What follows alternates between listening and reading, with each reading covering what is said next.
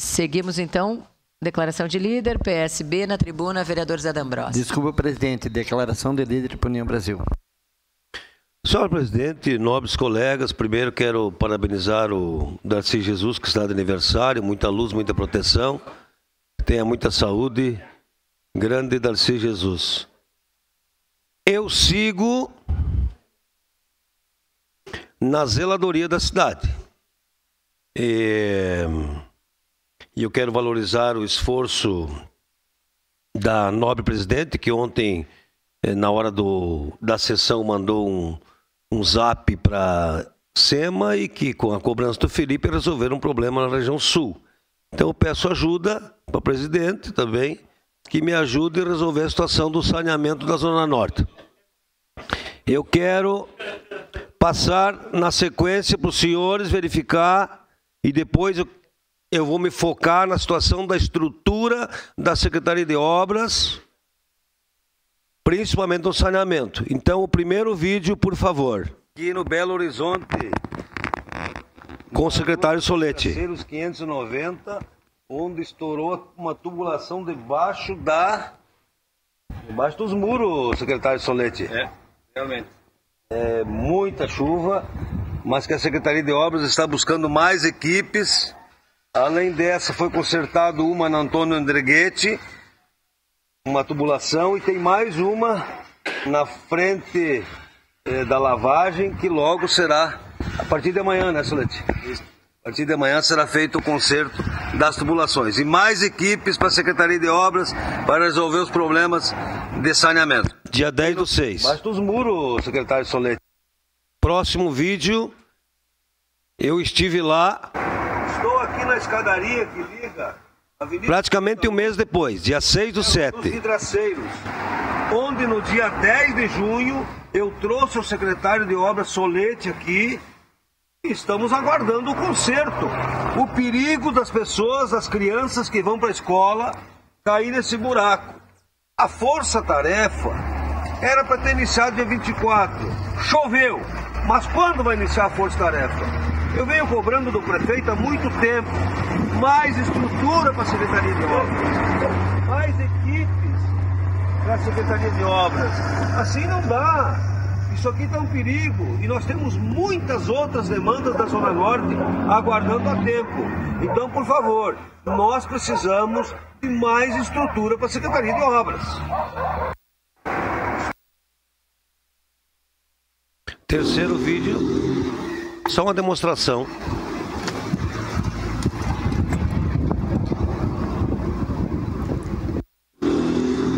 Então,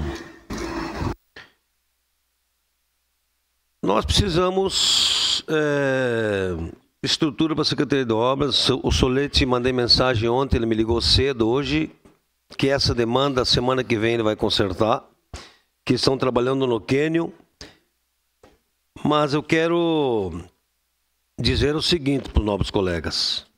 É, a força-tarefa na região sul não funcionou, pelo que eu vi. Por quê? Porque não tem estrutura. 400 alocaxias para a região sul com uma equipe, uma equipe, duas equipes na região norte. Então o Flavinho está lá mapeando, remapeando as demandas com os presidentes, mas cadê a estrutura da Secretaria de Obras? Meu Deus, o prefeito Adiló foi camisa 10 no SAMAI do governo Sartori, camisa 10 do Alceu na Secretaria de Obras. Por que não ter estrutura para a Secretaria de Obras? Então, eu quero dizer o seguinte, ó. Ontem o Henrique esteve aqui, eu cobrei o corte de pinheiros na frente, no área pública, na frente de uma igreja no Santo Antônio. Só tem uma equipe da Ambrose, não tem como. De noite a Magalha, secretária da Cultura estava aqui, eu pedi. Secretária, mateada nos bairros, não tem dinheiro, D'Ambrose. E aí para o saneamento também não tem dinheiro. Então eu quero dizer o seguinte, ó. Estão há 90 dias trabalhando, PGM, Secretaria de Obras, para criar aí um contrato de melhoramentos que não sai do papel. A saída, nobres colegas, a saída, venho falando desde 2021, a saída é o SAMAI. O SAMAI é que tem que cuidar do saneamento da cidade, principalmente onde for misto. Não existe outra forma. A estrutura que a Secretaria de Obras tem hoje, ainda mais com muita chuva, com esgoto estourados. O SAMAI, se o Tribunal de Contas não libera mais ceder servidores do SAMAI, quem tem que assumir é o SAMAI.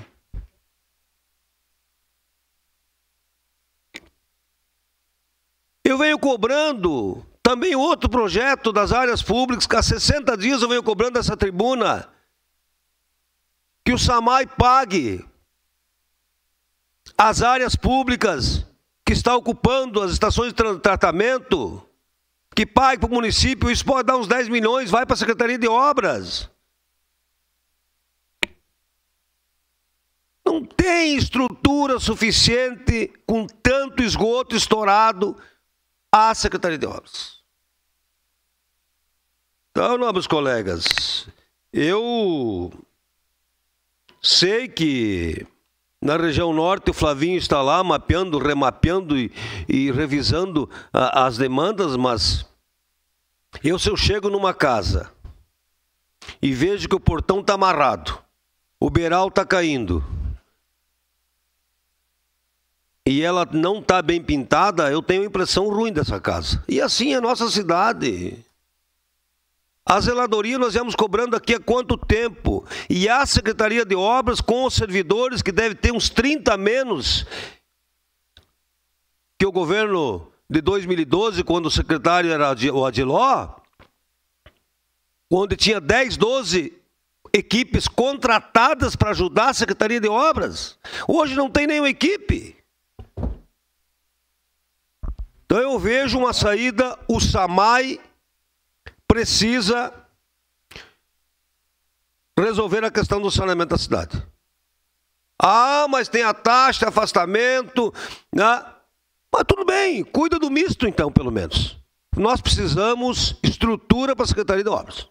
Porque não é possível mais, como a casa no pátio de uma, de uma morador do Pôr do Sol, estourou no pátio da casa, já levei o Ivanor lá, há mais de 40 dias e não tem como consertar, porque não tem equipe para ir lá consertar o esgoto dentro do pátio da casa que passa a canalização e vai até a Venâncio Guarese. Seu a parte, nobre colega. Vereador D'Ambros, eu fui prefeito, eu já estive lá. Ninguém faz milagre. Não se ganha jogo, vereador Felipe, que é do esporte, sendo tu não tem 11 no mínimo dentro do campo. Vereador Bressanga tem uma ligação muito forte com o Tito Imaginem vocês o primeiro distrito, a geografia de estradas que tem no primeiro distrito, tudo ao redor da cidade, não é aglomerado num, num ponto, vereador Felipe. Há poucos dias, três funcionários de férias, três nativas, uma patrola, um caminhão bom e um quebrado. Como é que vai dar conta? Agora que precisaria ter, agora esses dias. Então não é uma questão de pessoa partido que está lá. A pessoa que pegar essa incumbência ela vai se ferrar estragar talvez a sua credibilidade. Precisa mais gente, não é o problema partido, pessoa, prefeito. De novo, Felipe, para ganhar um jogo, no mínimo tem que ter 11 em campo, gente. Senão não adianta, é que nem ali na SEMA. Cinco, seis funcionários para podar árvore, precisaria três equipes igual a essa. Primeiro distrito precisa pelo menos de duas patrolas.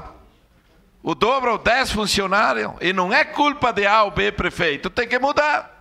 Tem muita coisa que precisa mudar. Senão a pessoa que estiver lá e ser o cara da secretaria, com certeza vai perder a credibilidade e não vai aguentar. Essa é a minha opinião. Obrigado, nobre colega que esteve lá, já sabe. É, ainda o contrato está em fase de elaboração para contratar novas equipes e a comunidade continua aguardando. Então eu vou fazer um estudo Vou fazer um estudo, vou conversar muito com meu colega que foi presidente do SAMAI para que a gente ache uma saída e o saneamento tenha pelo menos uma parte executado, cuidado pelo SAMAI. Eu acho que é a única saída que nós temos, porque não é possível 60, 70, 80 dias esgoto estourado na frente das casas. Obrigado.